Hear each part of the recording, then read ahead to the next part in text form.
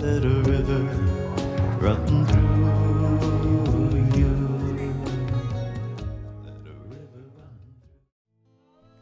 Studying under Bhava Ram has been a very powerful experience. Bhava's been sort of a beacon, an example to me of what it means to live in your truth and live it every day.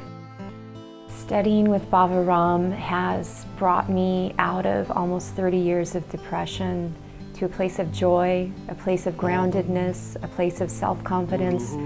Working and studying with Bhava has been an amazing example of, of someone who can share their, their fierce potency in a very loving and, and inviting way. After working with Bhava and practicing with Bhava and being in his presence, I learned to find that within myself. So I grew up with a very rare genetic disease called Gaucher's disease, and I was very sick for the first 10 years of my life. Uh, through that journey, I learned the power of the mind in healing and the effect on the body. But it wasn't until I met Bhava Ram and trained with him that I realized how important it would be for me to open myself up to that experience and share that experience with others. When I was diagnosed with an autoimmune disorder, I went to many doctors, many integrative medicine doctors who meant very well. Um, mainly they offered supplements and herbs and vitamins and I really found that those things weren't helping. And when I learned of his story, it just completely opened my eyes to a whole new possibility for healing. That if this man healed from so-called terminal cancer and a broken back, I certainly could heal with yoga. And I'm praying we all come home to truth. Being a type 1 diabetic creates all sorts of scenarios that, that you have to deal with every day.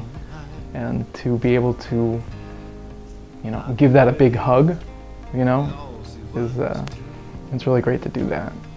Pretty sure that what Bhava teaches is how to hug yourself.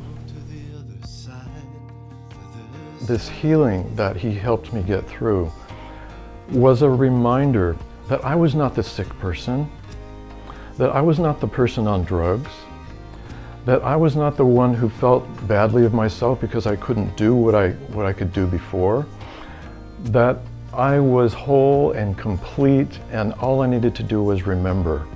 When I remembered, the chemistry would change, the thoughts would change, the actions would change, and my life would change. And it did. Before I met Bhava, I was practicing yoga more as physical exercise, and meeting Bhava has drawn me into this deep world of yoga, which I really didn't even know existed.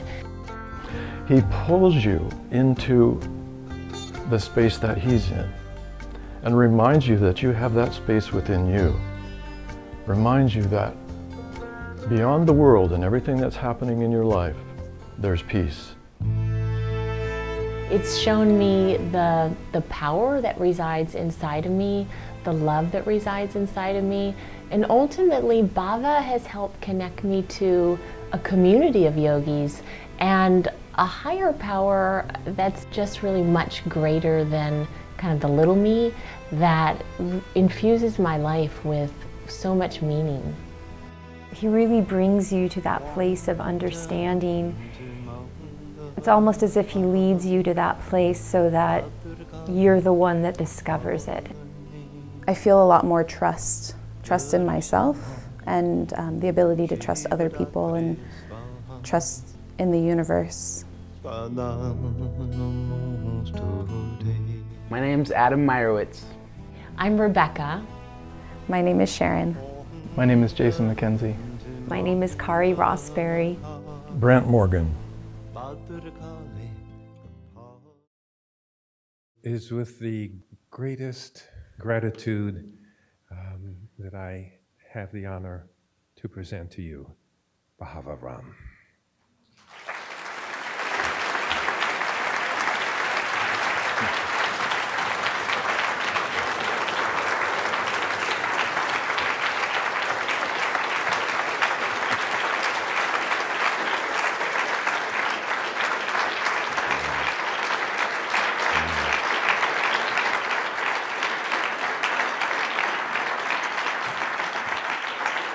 So while, you're still standing, please, would you do something for me? Would you just take your hands and go like this? So both arms are up like this. Now, grab your opposite shoulder, please. Hug your beautiful self right now. Would you just hug yourself for me? Okay, thank you very much, everybody. Please have a seat. Mm. Thank you to Dr. Miller for that, that beautiful talk and that wonderful introduction. Thank you to my, my amazing wife, Laura Plumb, for her words at the opening. And thank you all for coming here to the premiere of, of Warrior Pose, the subtitle of which is How Yoga Literally Saved My Life. And yoga, in all its deepest richness and complexity, yoga literally did save my life. And I know that this is a memoir. So it's my story, but my message is really that it's about all of us. This is our story because each and every one of us has deep inside of us a profound inner power. We have a power to overcome incredible obstacles. We have a power to heal to an amazing level. We have a power to grow and to transform and to ultimately manifest our fullest potential. You know, it's a power that we have largely been disenfranchised from, as Dr. Miller spoke about. But believe me, it's there in each and every one of you with absolutely no exceptions. And that ultimately is the message of Warrior Pose. I'd like to start and just share with you a little bit about the book, and I'll read a few excerpts as well. My story starts in 1986 in Afghanistan during the Soviet occupation of that country in a very, very brutal war. I was a broadcast journalist, and journalists were not allowed from the West inside of Afghanistan. The Soviets had actually threatened to kill any that they captured, and they'd made good on that threat on more than one occasion. But I was an alpha male. I'm going to work longer and harder than anybody else in the world. I'm going to go to the front lines because this career completely identified who I was. And I really knew that I was making a difference, and it gave me a sense of identity. So, into Afghanistan, I went up into the mountains with the Mujahideen, the freedom fighters. That's me, the, um, the guy in the middle who looks like he doesn't belong in the group. around a bunch of these Mujahideen freedom fighters up in the mountains. That's an anti aircraft artillery uh, piece in front of us. So I spent my time documenting their struggle against this mighty, mighty foe that had invaded their country. And then I went down into the squalid refugee camps. This was the biggest refugee crisis in the world at the time. Uh, 15 million people in the country, 5 million were on the borders of Pakistan and Iran pouring in more and more every day, people dying as they arrived, unbelievable war wounds for these people, unbelievable disease and suffering. And that's where I met this beautiful, beautiful boy whose name is Mahmoud. And that begins chapter one of Warrior Pose. And so I'd like to read a little bit of that to you. Is that okay? Can I read it? Okay. Mahmoud's eyes mesmerize me. They are deep ebony and plump as a newborn fawn's, and he holds my gaze with such blazing clarity that I feel frozen in time. He's a small and a slender boy, 10, maybe 11 years old. His thick black hair is beginning to show again on his shaved head, and his perfect white teeth glisten as he softly smiles. But his quivering body is bright red, covered with third degree burns. Large patches of skin have peeled away from his torso, which is now covered with open sores. He's lying on his side in a partial fetal position on the top of a thin mattress on a rusty metal bed. Blood-stained gauze is wrapped around his ribs, both arms, and his left thigh. It hurts just to look at him, and I can't imagine his pain. The rest of Mahmoud's burned body, too tender and wounded to touch, is exposed to the dank air of the refugee hospital. It's close to 100 degrees outside as the midday sun bakes the arid ground on the desolate border of Pakistan and Afghanistan. The hospital has no ventilation or cooling system, so the heat is stifling the air almost too thick to breathe, and it smells like a butcher shop filled with spoiling meat. How did this happen to you? I asked Mahmoud through my interpreter. He can barely whisper his response, and his body seems to quiver even more as he recalls what happened. I was just playing outdoors all by myself, he says, and closing his eyes, fighting back tears. Then the jets came, everything exploded, and I was on fire. And I know that we've done things like this to one another throughout all time. Knowing it is one thing, witnessing it is something else. It touches you in places that you never knew existed. Gazing at Mahmoud, I can't help but believe that if I devote my life to telling the world about such atrocities, we might wake up one day and stop the killing. I realize that that is utterly naive, but Mahmoud's eyes argue otherwise. You must tell the world, he seems to be saying with his gaze. You must. Yes, I'll do it, I find myself saying out loud as my cameraman finishes filming. It's impossible for me to consider otherwise. I feel this at the very core of who I am. And even though Mahmoud speaks no English, his soft smile tells me he understands that I've heard his message.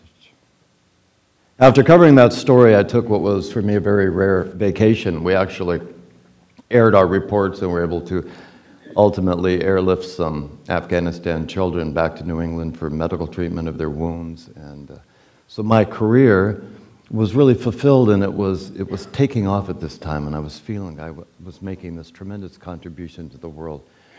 But I needed a little break, especially after a war zone. So I went to this little island down in the Bahamas um, called Elbow Cay in the Abacos Islands.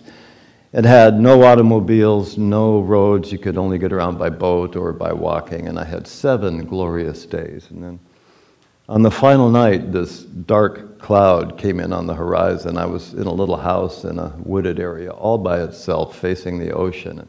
The windows started to do this and flex with this big storm that was coming in. The rain was pelting down, and I had this vision of the windows bursting open and a, miserable time. So I battened down all the storm windows. Just before nightfall, I became completely soaked and went into the bedroom to get dry and to go to sleep. And up in a, one corner in a vaulted ceiling, there was one little window, and it was screaming like a banshee. And it really wasn't important, but you know, it's that type A thing. And I had to go up and get that window. I, I balanced on a little ledge, a little wainscoting on the wall, and I reached up and I grabbed these handles that were corroded from the salt air and I twisted them hard and they broke and down I fell, boom, right onto the base of my spine on the hardwood floor. I didn't feel a thing. I think I was in shock. But I thought I was going to die because I couldn't breathe in. It felt like an eternity trying to take an in breath. And then finally the breath came. Ah, I'm alive. How delicious is my breath. Time to go to bed. And I couldn't find my legs. It's like, you know, when you hit a, a funny bone and you can't move your arm. I couldn't find my legs. It took another 10 to 15 minutes.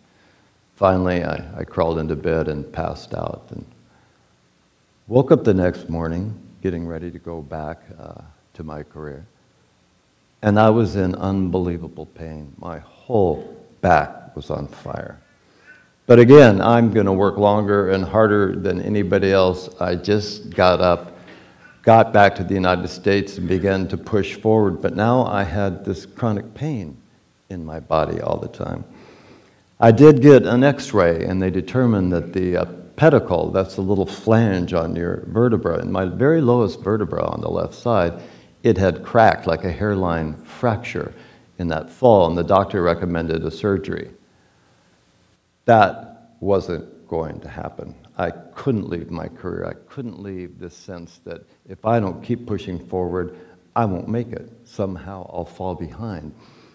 And as a journalist, I had interviewed people who had had failed back surgeries and were in wheelchairs, and that wasn't for me. So I took to prescription drugs ibuprofen, and Valium to relax my muscles and ease the inflammation. And at the same time, I was drinking like a good foreign correspondent, all to get away from this pain. And I pushed ahead for seven years. I was in uh, southern Africa during apartheid, covering that. I was jumping out of helicopters down in South America and running into the jungle with Bolivian troops that were destroying hidden cocaine laboratories. And then to the first Gulf War, where I was on the front line with the uh, First Marines as the pool reporter. And we were basically in all the fighting, at the front lines of all the fighting in the Gulf War. And after that, up to northern Iraq for the Kurdish refugee crisis. Saddam was pushed out of Kuwait. He went north, almost to the Turkish border, to quell an uprising by the indigenous Kurdish people. And then again, more refugee camps. Incredible suffering. And there were times during these seven years that you know, I felt better, that my back felt like it was healed, and I thought, finally, I've made it. And then a little monster would come and just bite into my lower back again and say, No, you haven't. And sometimes the monster got big and said, I'm completely in control of you. And the pain shot down my arms and my legs. But I would look at these people that I was covering as a journalist and I would think, Who am I to complain about a little pain in my back in the face of this massive suffering? So I just gritted my teeth, drank a little more, chewed a few more pills, and I pushed on. NBC put me in charge of all of Asia after that, which was an amazing dream come true. This is actually the view from my home on the peak in Hong Kong. So now I'm flying to Japan and to China and Vietnam and North Korea and beyond and working longer and longer hours. And at the same time, that pain is growing. So my career is going this way, my mental and my physical health are going this way in the opposite direction. And then came 1993, Manila, Philippines, down there covering a story, sitting on a chair with my editor in our hotel looking at videotape, and something popped in my back. And I fell down to the floor. I curled up in a fetal position, and I started howling like a feral cat. And they soon came and injected me with morphine. I'll explain why I use this in a minute. So I don't have bad breath. When I hugged myself. And uh, they came and they shot me up with morphine, and ultimately I was brought back here to San Diego. And I had major back surgery, finally. They actually cut me in two places. They cut open the iliac crest here on my hip, and they took out these little pieces of bone. They cut it all the way down to the marrow. And then they sliced my back open, took out the disc between the fourth and the fifth vertebra, cut those down to the marrow, and laid those little chips in. So the idea reminded me of somebody welding metal rods together, sewed me back up, and said, You know, you'll be better in four or six months. And I said, That's way too long. I have to get better within a week or two. Um, they found just before the surgery that I had a completely broken back. That pop was that pedicle bone coming all the way off and starting to impinge upon my spinal cord. And if I wouldn't have the surgery, they said I probably would end up in a wheelchair. So I had the surgery and it failed. And I was in more pain than ever, and my career ended. And along with it, my entire sense of self, my whole identity was gone. So I was put in this body brace that you can see here on the picture, too, and it's big, hard, kind of a Kevlar brace that went from mid thigh up to my sternum. It probably could have stopped a bullet in, in a war zone. I couldn't walk without a cane. I couldn't sit up for a meal. I was always in a recliner or eating off my chest on a couch. I know some of you I see here tonight remember that, that, that person.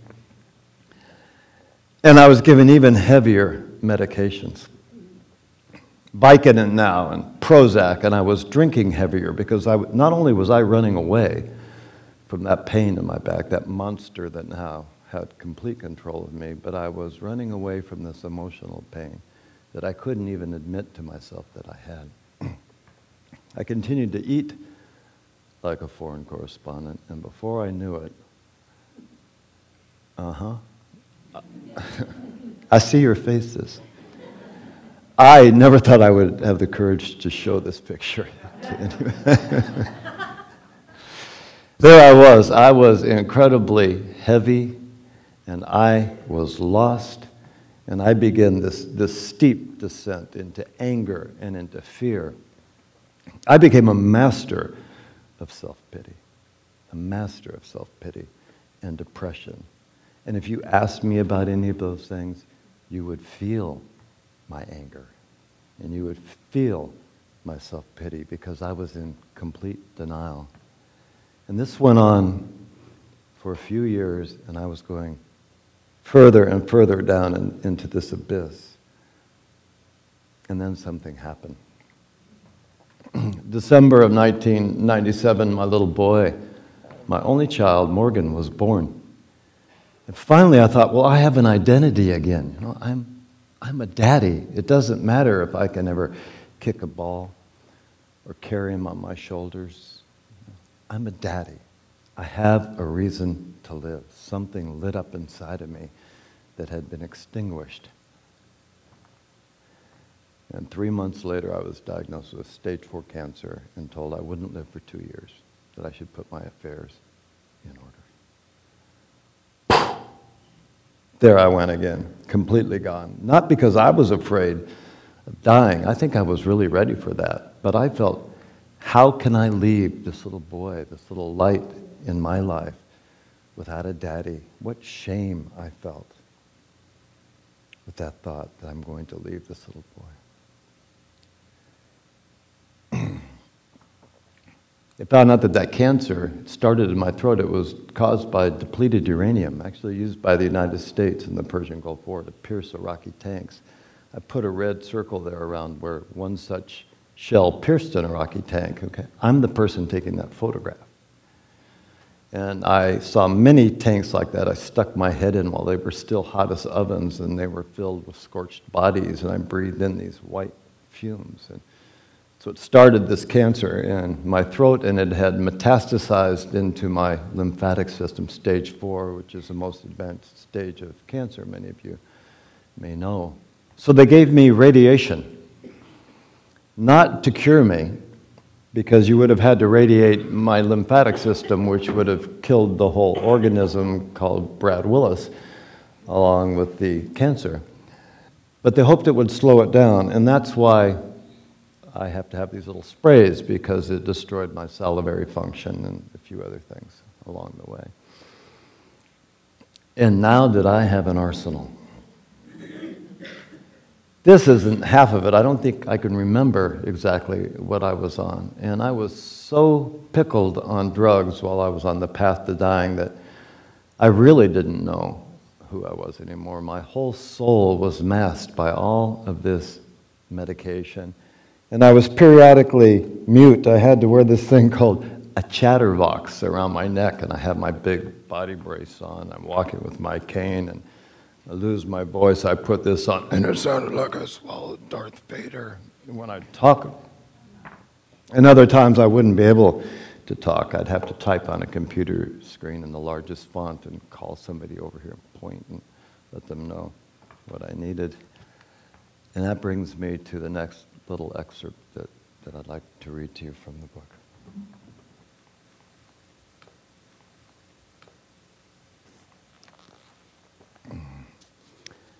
Suddenly, Morgan can say daddy instead of daddy. And he's growing more aware that his daddy is different. Always on the couch, the recliner, the portable lounge chair. Other daddies don't need canes and body braces or voice boxes. They can always talk, they can sing little lullabies. They can go and get on the swings at the park and carry their children on their shoulders and toss them in the air kick a soccer ball back and forth and take walks on the beach. And the doorbell rings, and a playmate is here with his father for a day in the park.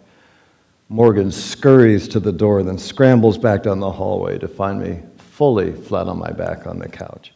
He desperately wants me to come to the park with him, to be fully involved, but I'm in such bad shape in the middle of a pain episode, I can't even get up and walk him to the door. Daddy, his voice is trembling. He's wiggling all over on the verge of tears. Get up, Daddy.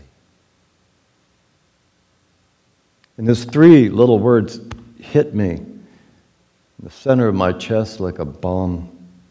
I wish so badly that I could get up, but it's another ice pick episode and I'm stuck on the couch. You go have a good time, sweetheart, I say, pulling him in for a kiss. Daddy can't get up right now. Morgan stands still for a moment and gazes at me, trying to process his emotions. He's feeling something deeper than I think he's ever felt before. Please, he says, get up, Daddy. He pleads and reaches out and tugs at my hand. I say, I'm sorry, honey, as my chest throbs. Daddy just can't get up right now. His back hurts too much. He starts to plead again, but suddenly stops and stares at me. And in this moment, he's come to a realization somewhere deep inside, in his own little way, he knows that I'm breaking the covenant we made during the Christmas parade just a few days earlier to walk in that parade with him one day. I'm breaking the covenant because I'm not long for this world. and watching him disappear down the hall for his play date, I free fall into despair. Get up, Daddy. It went through my head for the next several weeks like this endless mantra, this loop, and I never could find an answer how. And I had become so dark by this time, I had alienated most of the people around me. The only time that I was present was when I was with that little boy. That's the only time that I was ever really present.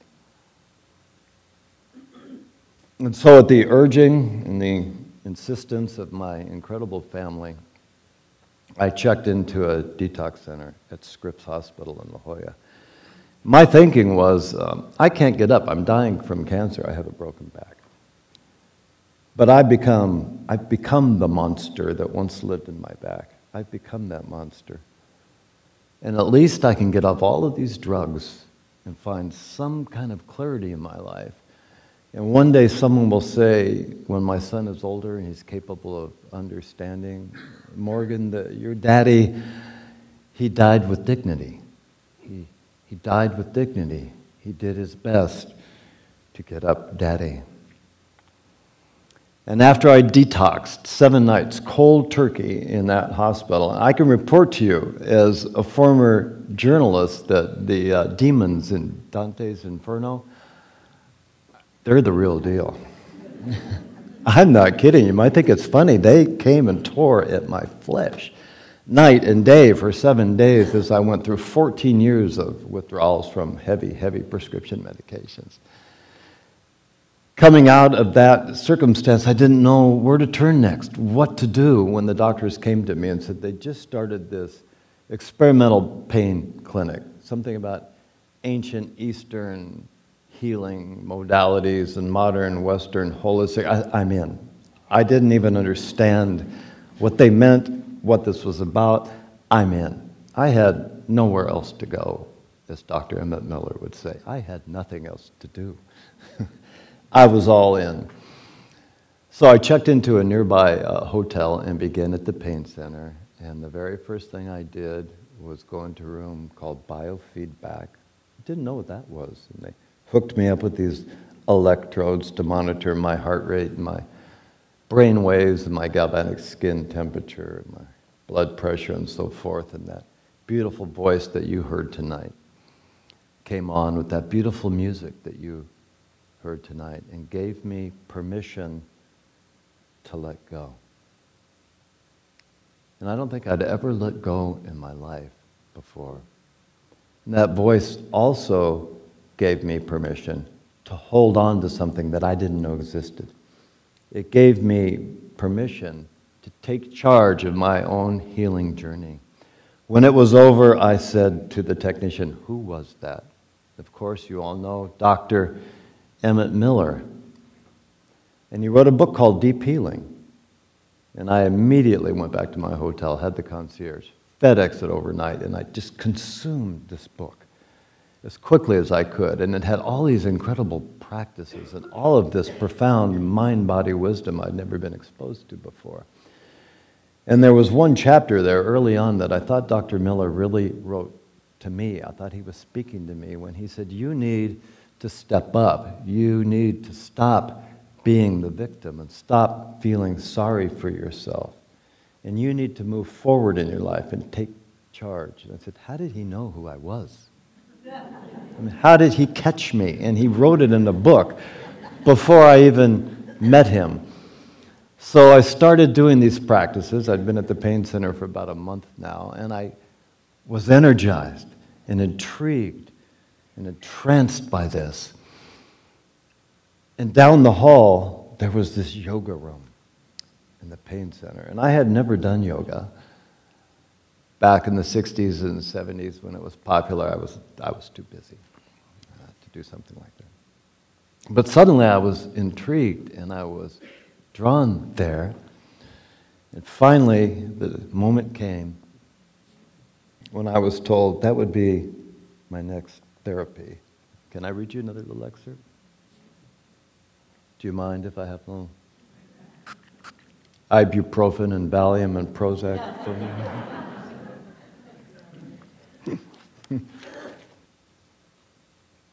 A few minutes before three o'clock, I returned to the door of the yoga room, leaned toward it, and listened. It's silent inside. No one answers my timid knock, and I softly turn the door handle. It's unlocked, and as I open the door, I see a pile of thick wool blankets on the floor near a low wooden table with a few candles on it. There's a small stack of light blue rubber blocks near the wall and some straps like the ones I've seen in the physical therapy room at the pain center. The harsh fluorescent lights are off and the room is bathed in a soft, natural sunlight. The windows are open and a warm breeze carrying the scent of spring blossoms is flowing through the air. Nothing remarkable, but the atmosphere of the room envelops me and I feel a palpable sense of healing energy surrounding me. This is it, my heart says with conviction. And as usual, the rational mind of my inner journalist resists, but my heart calls out again this is it. From nowhere, the instructor floats in, offers me a wide smile. Welcome to yoga, she says, with a thick Eastern European accent. My name is Savita. I immediately feel a deep sense of trust and kinship, like our distant ancestors were once in the same tribe. I've reviewed your chart, and I'm sorry you have to live with so much pain, Savita says softly, still smiling as she gently lays a few blankets out near a wall. We'll begin very slowly and stick to basics. Have you ever done yoga before? No, never, I say, slowly, feeling calm and grounded in her presence, but I'll give it my best try. Wonderful, she says. But the less you try, the further you'll get.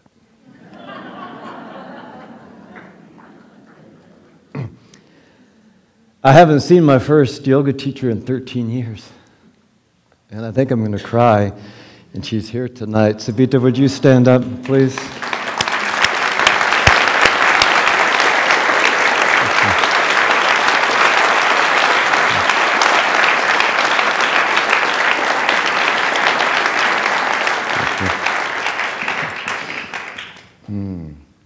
You look younger. then the pain center closed. Just when I thought I had it, you know, it closed. The insurance companies wouldn't reimburse the hospital for the treatments because it was out of the mainstream. I knew a few of the uh, patients there, and they despaired. One of them even committed suicide. I went home to my home in Coronado,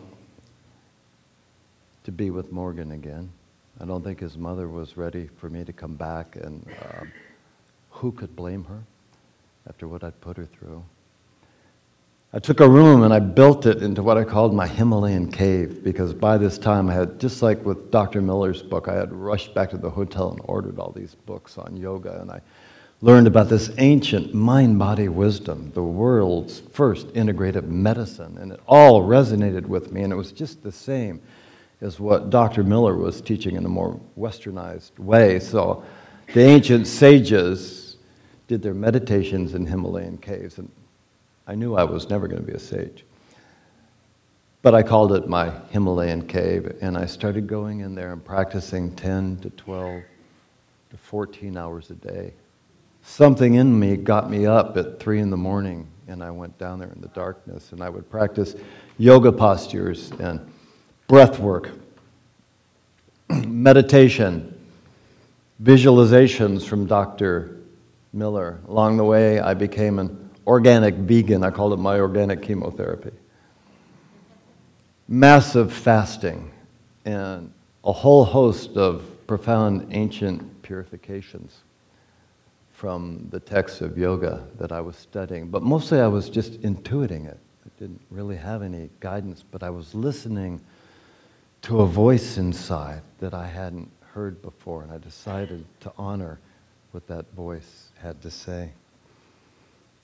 And I realized it is body, mind, spirit medicine. That there was a spirit inside of me, that I had been disenfranchised from, as so many of us often are. And I started on that quest. I'd crawl out of my cave to take Morgan to preschool or make him breakfast, spend time with him. When he went down for a nap, I was back in the cave. And so this is how my life went for about a year until finally I crawled out and I started harmonizing myself with nature's rhythms. I just had this inner calling to do it. And I'd go to the bay for sunrise and I would practice and I would feel connected to all of nature as I did. And I would let my breath move my body and I would be chanting, Get up, Daddy, so that my mind stilled. It was like a yoga pose for my mind. And at the end of the day, I'd go over to the beach for sunset and do the same thing and say, Good night, sun. Thank you, sun. Thank you for warming my life. And a little yoga studio had opened in Coronado, the very first one, and I started going there as well. And here were these two amazing people that started to teach me more and more yoga postures. And I started becoming stronger and more flexible than I had ever been in my life. And you know who you are, Linda and Jean Pierre. Please stand up. These two beautiful people. Thank you so much. Mm, thank you.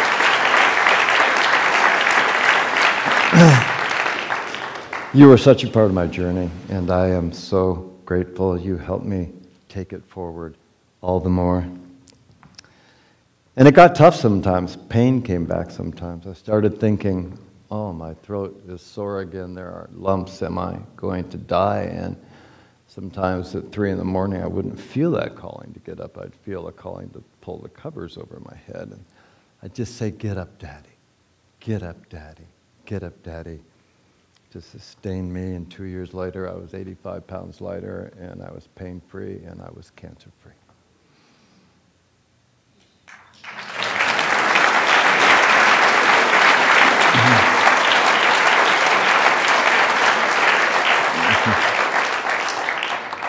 So that brings me to um, my final excerpt.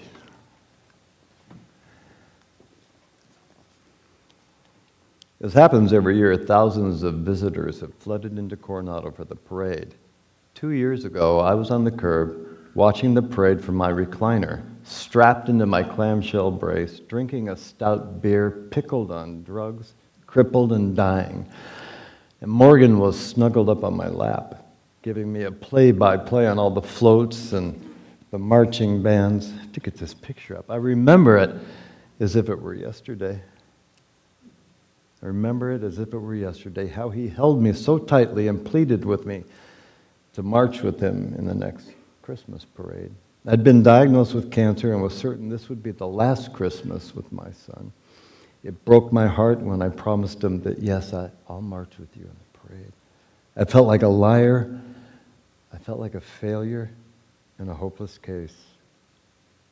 Little did I know at that time that my son would soon make another request of me. It was just a few weeks later that he said, Get up, Daddy. And that was the catalyst for this journey. The one thing that gave me the strength to persevere, because without this bond between father and son, I know that deep in my heart, I never would have pulled through. Last year, I was well enough to watch the parade with Morgan, of course, but not yet strong enough to join him. This year, Morgan has been invited to join a group of his little friends marching in the parade of elves, and I'm all in 100%. I managed to mock up a fairly silly elf costume for myself and join the other parents who are escorting the kids. We arrive at the beginning of the parade route. The marching bands, karate club, cheerleaders, sports teams, and even the garbage trucks are all in the queue again, with Santa on the large red fire truck bringing up the rear. And I look down the long, wide street and see the throngs of holiday revelers as an instrumental version of Joy to the World blares from a nearby loudspeaker. This profound sense of joy washes through me. I kept my promise to my son. I'm alive. Joy to the world. I feel a tug at my hand. I glanced down to see Morgan smiling at me as we walked through the parade. Daddy, can I have a shoulder ride? Sure, sweetheart, I answered with a smile, swing him up onto my shoulders, and dance with him perched above me all the way through the parade. And as I see familiar faces along the way, I realize that this parade is very much the same as it's been every year for decades. It's me who's different, completely different in body, mind, and soul. I never dreamed I would fulfill this promise of being in the Christmas parade with my son, much less be able to carry him on my shoulders. I never imagined that such healing was possible. Joy to the world. When we reach the end of the parade route near the beach in the Hotel Del, I swing Morgan down from my shoulders into my arms. I hug him closely and I say, Guess what? Daddy got up. What does that mean? he asks, smiling widely as he hugs me back. I have to laugh out loud and then whisper, One day, I'll tell you all about it. Morgan's almost 16 now. You just stand up.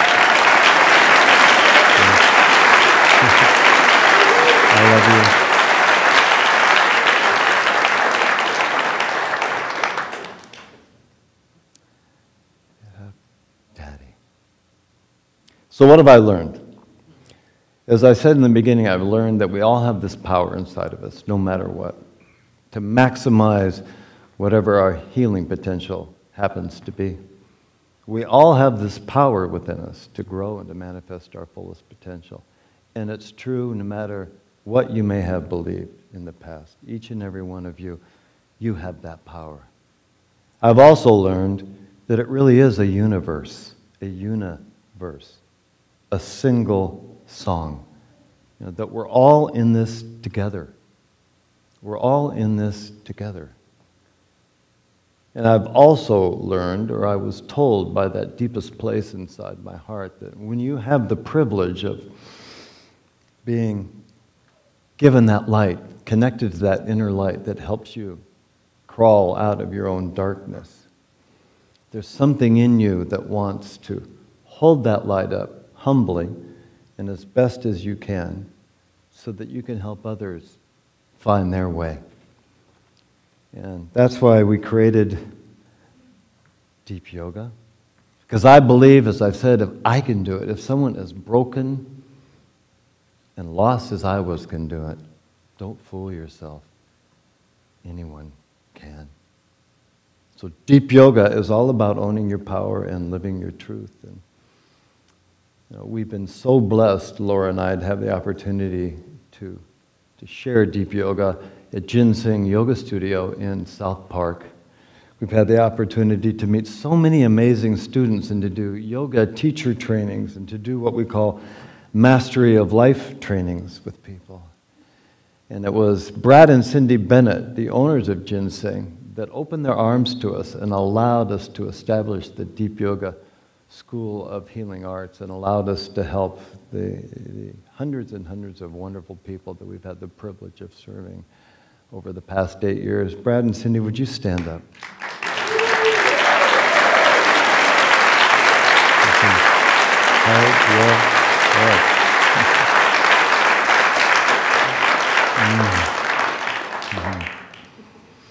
I've also learned about the power of love. In the refugee hospital that I was in in 1986, there were all of these war wounded Afghans.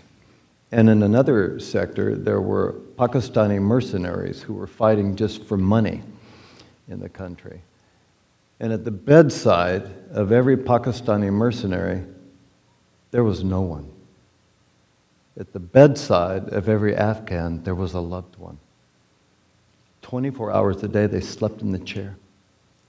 And they were pulling on their mala beads and saying prayers and just being present with those people and giving them love. And the doctor at that hospital that I did an interview with this, a Pakistani doctor when I was there, he said, I don't understand this. These people heal, these people die. They have the same wounds. And it wasn't until years later in my cave that something was awakening in me that I realized what it was, that I realized that it was the power of love. And of course, it was the power of love that helped lift me up and helped me to find that strength to change my life.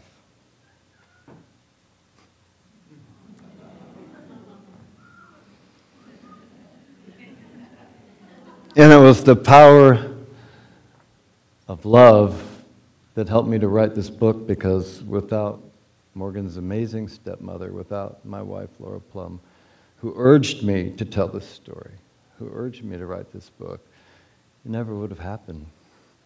Without her support, deep yoga never would have happened. Without her love and support, this evening never would have happened. So, thank you. Morgan, to come up on stage.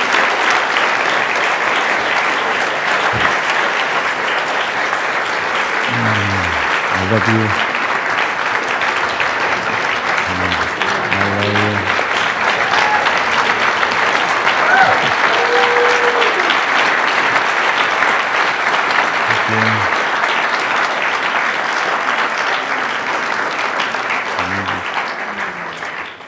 And while you're standing, I'd just like to thank uh, a few more people who were so instrumental in making this uh, evening happen. I'd like to thank Ryan Knorr and San Diego Audio Video. They brought these three cameras for a high definition video stream.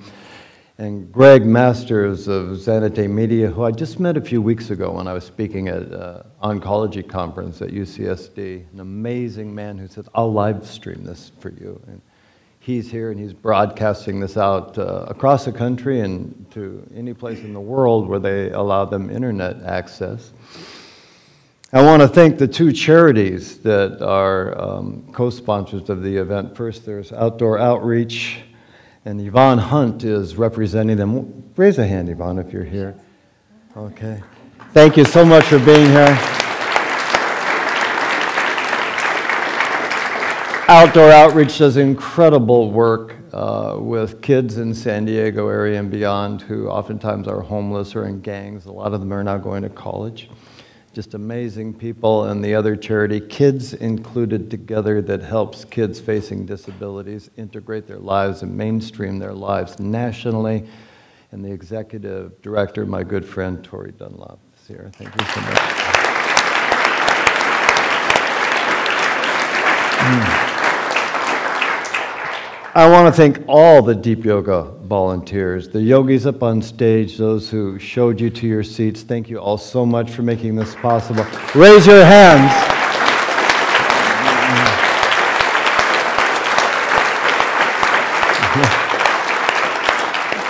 Give yourself a hug. And all of those of you who were in the video, that, that really touched my heart. I see my, my beautiful brother Brant standing there, all eight feet of you. Thank you so much. Thank all of you. Thank you, Adam. Thank you, Rebecca, so, so much. Thank you, Sharon. Thank you, Jason. Jason, who said, I think, Bhava teaches Hug Yourself, is the one who made that video as well. So thank you. Jason, where are you behind the camera? Thank you. Jason. Randy Spakoki, who has been our, our guest coordinator, who's there in the back. I want to thank you so very much. Randy, please raise your hand. Let us see you.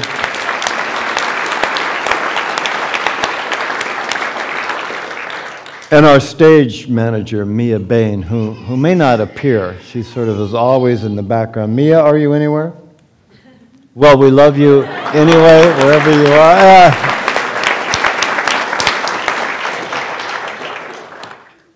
Kari Rossberry, come up here, please, on the stage with us.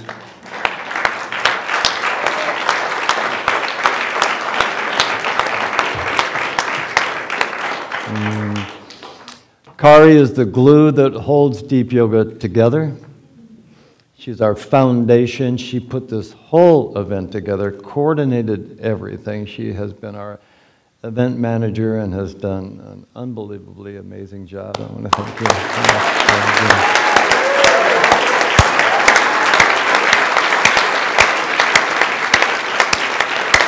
Mm. And so now, if you just will look around a little bit and have a feeling of gratitude for all the people who have joined you here tonight, because it really is a universe, it really is a single song. We really are all in this together, and I want you to give yourselves a hand, please.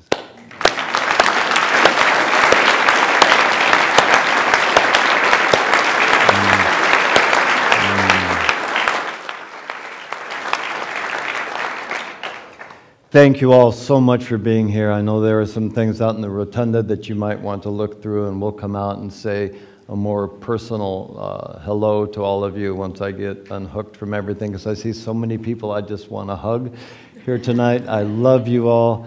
Namaste. Om Namah Shivaya. Thank you. Thank you.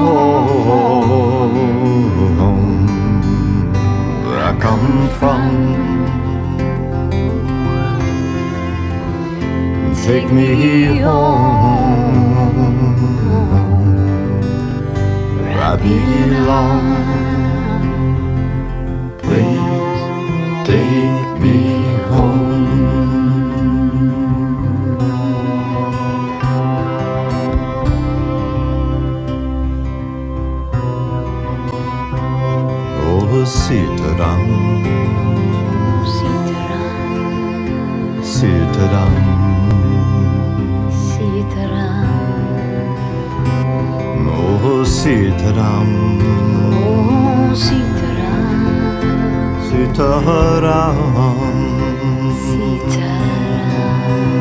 you take me home, Take me home, where I come from. Take me home. Where I belong. Take me home.